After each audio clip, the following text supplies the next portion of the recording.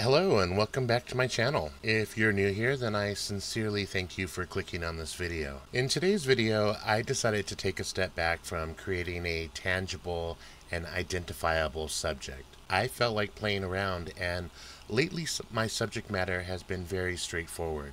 I was craving something more whimsical and freeform. Uh, generally speaking, I sketch for about 15 minutes, but today I spent over an hour sketching. My sketches, and I don't know why I do this, either fall into two clear types, either figures or landscapes. Uh, today my brain wanted to work in landscapes as that's all I sketched. I also wasn't sketching anything I was immediately drawn to, and that's why I added color studies as well. Usually I avoid doing a color study unless I'm just not finding anything that I want to run with. Thankfully, when I put all the images together, the little green sketch had a surreal and whimsical quality that I was drawn to.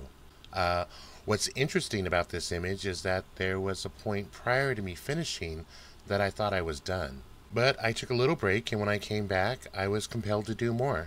As the video goes on, I'll point out that stage, and you can comment below if I should have stopped or kept going.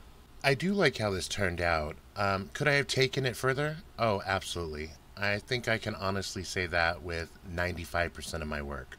But my experience has also been that I can work something right into the ground and kill it. So now, when I feel like I've reached a solid stopping point, I generally listen and don't push beyond. I also have a shop to fill and videos to make, so being disciplined with my time is just me being practical.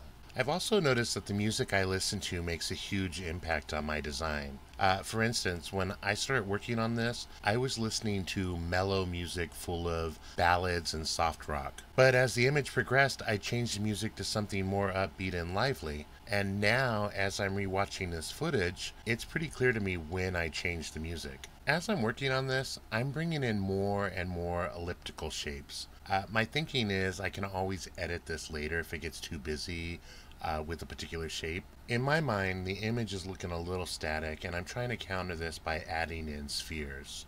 I'm looking to add movement, but I also notice that this is something I always do, seeking movement and dynamic positioning, and I remember thinking at this time, let's not do that, let's just be okay with flat for a change. As you'll see, this was a short-lived argument.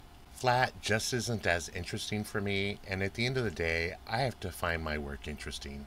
We are coming to that point where I thought I was done, and I literally walked away to get lunch thinking, oh, this is great. I got an image done in less than four hours. What will I do with all the extra time? I allot myself eight hours to come up with and create a design, and I usually go over that by an hour or two. And this has been something I've been wanting to improve.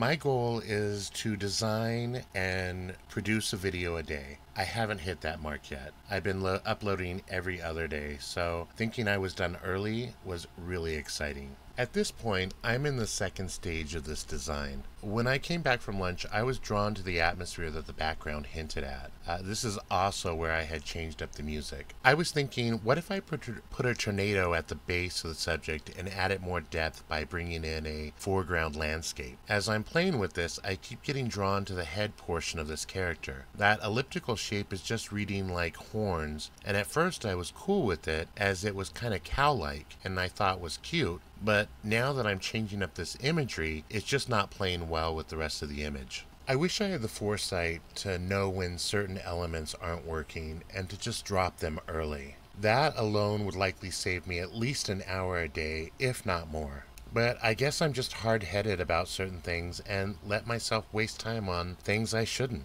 I'm sure this feeds into my personal life as well, but we'll skip over that this last stage of the image, aside from the halo or horns, whatever you want to call it, was really productive and came together very quickly. I did notice early on that the image was becoming very heavy on the right side of the page, but since it was a foreground issue, I didn't address it right away. I was more interested in bringing the subject in closer to the foreground by extending the right arm and giving it a little bit more contrast. The fireballs or globes were another element that I wish I had the foresight to just drop. I really have no idea why I kept those elements in so long. They hadn't been playing well with the image from the word go. My only thinking is everything takes time to create, so losing something that took time to make sucks. Oh well, live and learn. If you've made it this far into the video, I really want to thank you for watching. If you were entertained or inspired or motivated, please give this video a like and consider subscribing to see more. If you're interested in purchasing any of my designs, the link for my shop is in the description. I hope your day is going well, and again, thank you so much for clicking on this video. Have a great day.